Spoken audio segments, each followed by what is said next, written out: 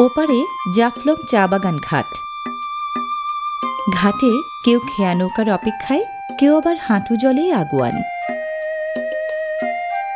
শুকনো মৌসুমে গোয়াইন নদীর হাঁটু জল মারিয়েই আসা যায় এপারে জাফলং বাজার ঘাটে।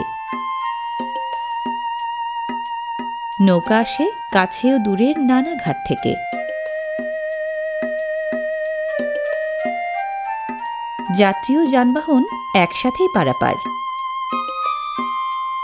হাটবারের দিন নৌকা ভোরে ভরে আসে শাকসবজি সহ হরেক রকম কৃষি পণ্য।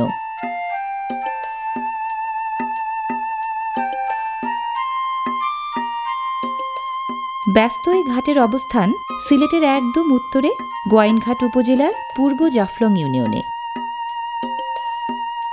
এখানে হাটুরিদের সাথে সামিল সাধারণ যাত্রী আর শিক্ষার্থীরাও।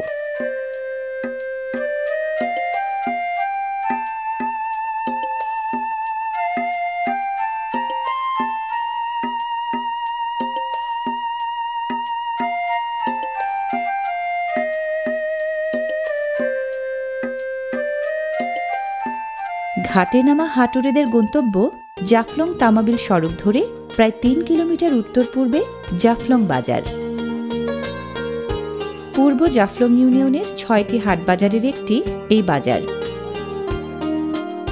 বাজারে শাকসবজির যোগান বেশি থাকে হাটবারের দিন। আশপাশের এলাকা থেকে আসায় তরতাজাও বেশি।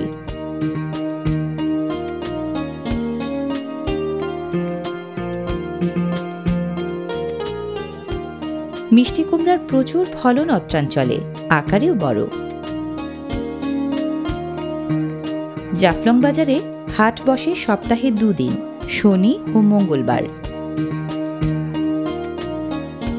করলার ফলন এবং যোগানও বেশি এখানে।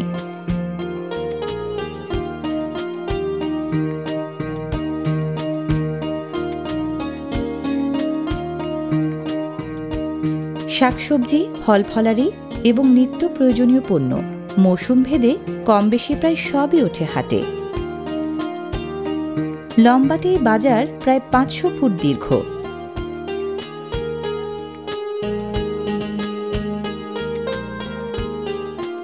জাফলং বাজারে চান্দিনা ভিটি আছে সাড়ে তিনশোর মতো।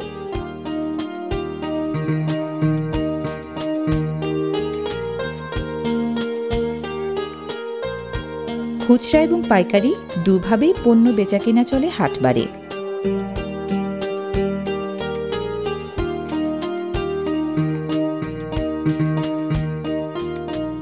পাইকারি দরে কেনা পণ্য সাধারণত মোড়কবন্দি হয় বস্তায়।